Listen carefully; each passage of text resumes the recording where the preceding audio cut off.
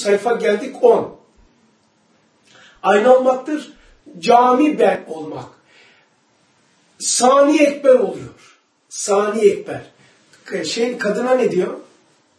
Kadın için işaret ceza. Erkeğin nesidir? Hani kalbe mukabil kalp. Sonra diyor ne diyor?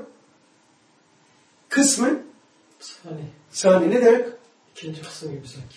Kimin ikinci kısmı? Erkeği. Erkeği. Yani paralel dünya. Yani ikizim.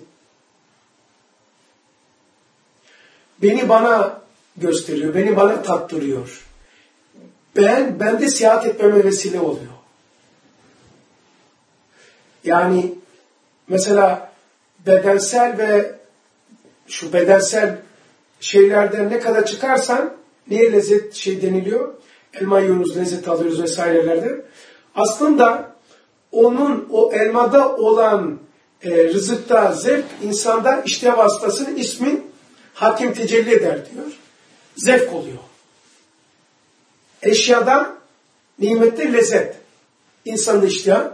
Sonra Şuur değil mi? ismi hakimle e, şu, şuur değil.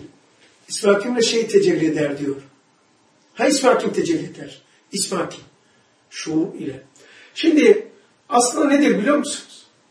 İnsan hangi alemden gelmişse o yolları kullanarak o aleme doğru seyahat ederken aslında insana zevk veriyor. Zevk o seni oraya taşıyan da değil, aslına gitmekten uğradığın alemlerde sana verilen cevaptır. Elmayı ağzına koydun. Hiç kimse elma hissetmiyor. Elmadan kimse lezzet alamıyor. Elma bizi öteye taşıyor. Elmada doğmuş esma et. Ne anladıksa artık genişletin bunu.